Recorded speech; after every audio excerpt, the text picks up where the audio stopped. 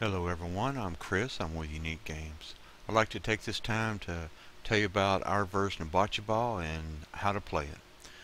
First off, we want you to understand we did not use the official rules when we created our version of Bocce Ball. So the way that it's played is different than the official rules. So we wanted everyone to be able to have, you know, a little easier game to play, you know, for all ages. So we hope you understand. So what we want to go off into here is explain the main menu, play, options, credits, high scores, and a link to visit our website. First off we want to do is go into options. Under here we have master audio. This allows you to turn off all the audio in the game. All the music, all the ambient sounds, all the button sounds. As you can see you can turn all those off individually right here. Team turn message allows you to turn the message for who's turn it is to play on and off. We'll get into that in just a minute when we start playing and you'll see it pop up on the screen. You can come here and turn it off and it just allows for a quicker gameplay. Reset high scores allows you to clear the high scores that show up here. So if you have all your high scores listed here and you want to start over, pressing that option on there makes it all go away. Under credits, it's a listing for all credits for everybody that was involved in building the game. And they did a fantastic job. So let's jump into play and from here we're going to go over the single and multiplayer options. Here on our single and multiplayer menu it allows for multiple choices. One is going to be single player where only a single person using a single device playing against the AI. The multiplayer that's going to be two people playing on a single device or two people playing against each other using different devices. On the multiplayer, we'll cover that in another video later on. Right now, let's jump on right on into the single player version. What we have here under our single player options is our four difficulty levels and our four environments. On the right hand side, you'll see a preview window. That is the preview of each environment. Right now, you're looking at Oasis. Here is the beach, forest, and lake.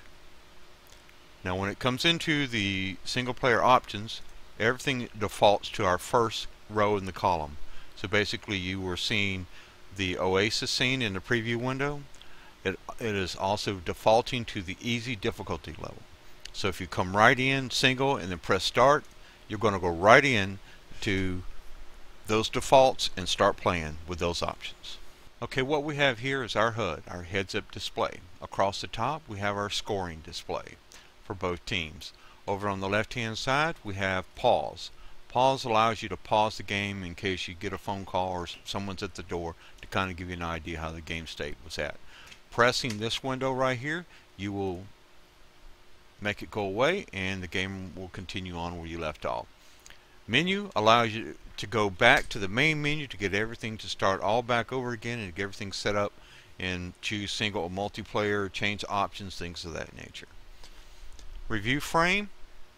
Review frame is after you've thrown the ball and you've got all your balls down range and it's the end of the match and you want to review how all the balls lie.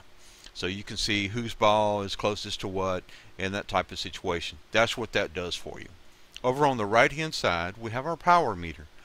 The power meter starts from the top and goes to the bottom and it's based on when you click at the top of the screen and drag down with your finger or mouse pointer, the arrow on the side of the power meter will go from the top down. Over on the right hand side here you'll see aim and toss. Now what this is, it's a mode. Aim mode, toss mode. In aim mode, when you press aim, it allows you to put a pointer on the court. If you'll notice, it just stays on the court. If I try to click off, anywhere water tree sand anywhere else on the post it never changes. But as soon as I click on the court you'll see that the pointer is placed. Now that I've aimed where I want I want to press toss so that I can throw the ball. Now again watch the power meter. As I touch the screen drag it down and I want to throw the ball. So my jack ball is now out on the court. What this gives me is that we have to aim again but aim is going to have a secondary function this time because now that the jackball's on the court we can do an aim again which allows us to zoom into the jackball so placing our aim pointer again where we want it pressing toss to go back into throw mode we can now put our finger on the screen, drag it down, and release the ball. And you'll see that it throws the ball out. Team 2 is going to uh, throw their ball out, and you'll see how it works. Well, we hope you enjoyed the tutorial, and um, we really enjoyed making the game for you.